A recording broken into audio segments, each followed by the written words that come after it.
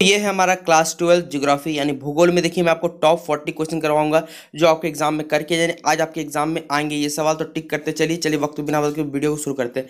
देखिए, पहला सवाल आपसे पूछा जाएगा कि सैन्य भूगोल भूगोल के किस शाखा के अंतर्गत आता है तो याद रखिएगा, ये राजनीतिक भूगोल के अंतर्गत आता है, क्योंकि यहाँ पर राजनीति इसके क्या करती है पॉलिटिकल जो भी पार्टी रहती है, वो कंट्रोल करती है। अगला सवाल पूछा जाएगा कि विश्व की कुल जनसंख्या का कितना प्रतिशत संख्या उत्तरी अमेरिका में सिर्फ़ रहता है, बोला है, उत्तरी नॉर्थ अमेरिका में रहता है। तो याद रखिए नौ दशमलव सात प्रतिशत क्या पाया जाता है? जितना भी हमारी जनसंख्या, वो कहाँ रहता है? उत्तरी अमेरिका में रहता है, ठीक है? अगला सवाल टिक करिएगा कि जनसंख्या वितरण को प्रभावित करने वाला कारक क्या है? तो याद रखिएगा, भू आकृति यानी हमारे ज़मीन पर डिपेंड करता है। जल की उपलब्धता एकदम करेगी, जलवायु भी करेगी, इसलिए ऑप्शन नंबर डी इसका सही जवाब हो जाएगा। अगला सवाल इंपॉर्टेंट सवाल है। ईसा की पहली शताब्दी में विश्व की जनसंख्या कितनी थी? तो याद रखिएगा, उस समय जनसंख्या तीस करोड़ से भी कम थी। अगला सवाल क्वेश्चन सेवन इंपॉर्टेंट है, याद रखिएगा। थॉमस माल्थस ने अपने सिद्धांत को किस पर प्रतिपादित किया था? तो सत्रह सौ अंठानवे ईस्वी में अपने जो उनका जो सिद्धांत उन्होंने प्रतिपादित किया था, ठीक है? याद रखिएगा, सबसे इंपॉर्टेंट सवाल है।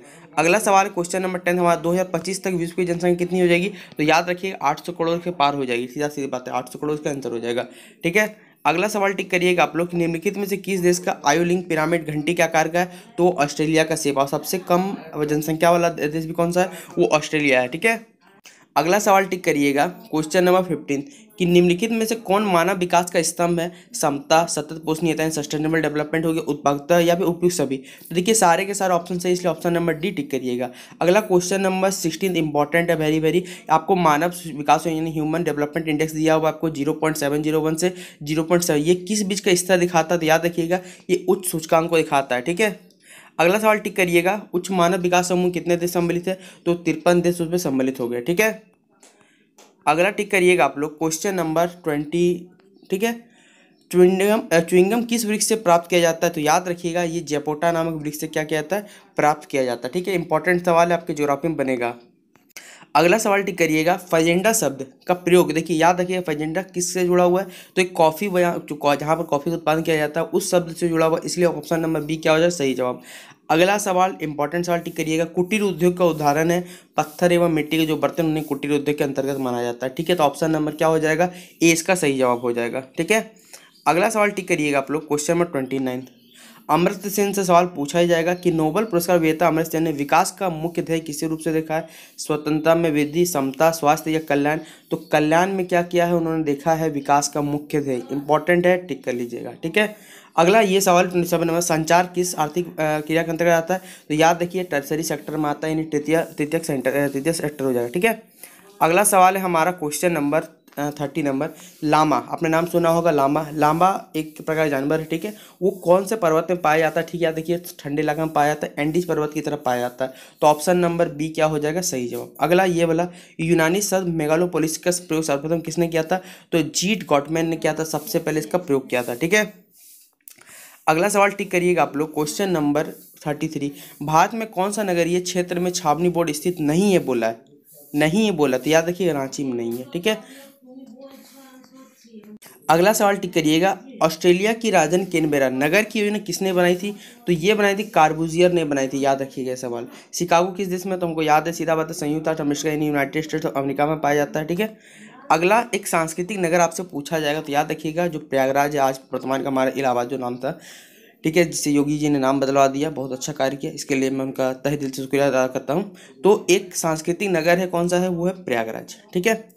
अगला सवाल है बच्चों हमारा, आमूलवाड़ी रेडिकल विचारधारा निर्धनता कारण बंधन और सामाजिक असमानता की व्याख्या के लिए किसके सिद्धांत प्रयोग किया था? तो वो किया था मार्क्स ने किया था, ठीक है? ऑप्शन नंबर ए इसका सही जवाब होगा। देखिए, ये पहला नंबर सवाल टिक करिए इंपॉर्टेंट कि हमारी पृथ्वी को नियंत्रित करने वाले, ठीक है? भौतिक नियमों तथा इस पर रहने वाले जीवों के मध्य संबंधों के बीच संश्लेषित ज्ञान से उत्पन्न संकल्पना के रूप में मानव भूगोल किसने परिभाषित किया? तो वो क्या था विडाल डी लॉ ब्लांस ने, इनका ही ये कथन था, ठीक है? इंपॉर्टेंट है, टिक कर लीजिएगा। अगला सवाल टिक करिएगा आप लोग, क्वेश्चन नंबर फाइव। भारत में 2001 से लेकर 2011 के बीच जनसंख्या कितनी वृद्धि हुई थी? तो याद रखिएगा, सिर्फ़ अठारह दशमलव पाँच अठारह एक पाँच करोड़ की वृद्धि हुई थी, ठीक है? अगला सवाल है, बच्चों, हमारे इंपॉर्टेंट विश्व में कृषि का आरंभ कब हुआ था? तो आठ हज़ार ईस्वी से लेकर बारह ईस्वी तक क्या, पूर्व तक क्या हुआ था? कृषि का भारत, विश्व में क्या हुआ था? आरंभ हुआ था। अगला दो हज़ार ग्यारह में जनसंख्या, झारखंड में जनसंख्या कितनी थी? तो झारखंड की जनसंख्या सिर्फ़ तीन दशमलव दो नौ करोड़ दो नौ करोड़ जनसंख्या थी, ठीक है? अगला सवाल है हमारा important question eleven Thomas Malthus के सिद्धांत के अनुसार खाद्य उत्पादन वृद्धि किस प्रकार होती है? तो याद रखिए अंक गणितीय होती है अर्थमेटिक रूप से बढ़ती जाती है, ठीक है? यानी ऑप्शन नंबर क्या हो जाएगा? बी सही जवाब हो जाएगा। अगला सवाल है विश्व में न्यूनतम सबसे कम बोला, देखिए सबसे ज़्यादा बोला जाता तो लेटिविया हो जाता हम पढ़ चुके हैं। और सबसे कम बोला जाता है संयुक्त अमीरात यानी यूनाइटेड स्टेट्स ऑफ़ अमीरात कह सकते हैं इसे, ठीक है? अगला सवाल टिक करिएगा, क्वेश्चन नंबर फोर्टीन। कि मानव विकास सूचकांक किस बीच के स्कोर पर आधारित है? तो वो आपका ज़ीरो से लेकर एक तक का डाटा दिया जाता है। इसमें बताया जाता है कि कौन सा देश कितना ज़्यादा डेवलपमेंट कर रहा है ह्यूमन ह्यूमन इंडेक्स में, ठीक है? ह्यूमन डेवलपमेंट इंडेक्स में। अगला सवाल टिक करिएगा आप लोग, ठीक है? आपने नाम सुना होगा, झूम कल्टीवेशन। झूम कल्टीवेशन भारत के किस क्षेत्र में पाए जाते हैं? तो देखिए, जो हमारा नॉर्थ ईस्टर्न स्टेट है, सबसे ज़्यादा वहीं पर झूम कल्टीवेशन किया जाता था पहले। तो ऑप्शन नंबर बी क्या हो जाएगा? सही जवाब। अगला सवाल है क्वेश्चन एटीन गहन निर्वाह कृषि का मुख्य फ़सल क्या है? तो याद रखिएगा, चावल इसका एक मुख्य फ़सल होता है। रोपण कृषि पूछा जाएगा तो रोपण कृषि में जो हम लोग रोपते हैं ऑप्शन नंबर डी, चावल हो जाएगा। ठीक है?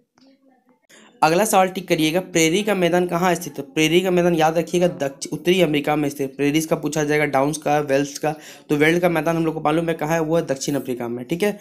और अगला सवाल आप लोग टिक करिएगा, क्वेश्चन नंबर ट्वेंटी सेवन, ठीक है? कि किस प्रकार को, किस फल को सुखाकर मुनक्का एवं किसमें तो देखिए डायरेक्ट सवाल है? ये होगा, अंगूर हो जाएगा। ट्वेंटी सिक्स नंबर, कि वाणिज्यिक डेयरी कृषि का प्रमुख क्षेत्र कौन सा है? तो वह उत्तर, उत्तरी पश्चिम यूरोप है, ठीक है? फिर अगला क्वेश्चन ट्वेंटी सहकारी आंदोलन को सबसे अधिक सफलता किस देश में मिली है? तो वो मिली आपके डेनमार्क में। डेनमार्क की राजधानी से पूछा जाएगा तो कोपेनहेगन बता दीजिएगा, ठीक है? अगला सवाल बच्चों, हमारा खनन का वास्तविक विकास, यह सवाल पूछा जाएगा, कौन सा क्रांति हुआ था तो कि इंडस्ट्रियल रेवोल्यूशन सबसे ज़्यादा इसका डेवलपमेंट है तो ऑप्शन नंबर डी इसका सही जवाब होगा, ठीक है?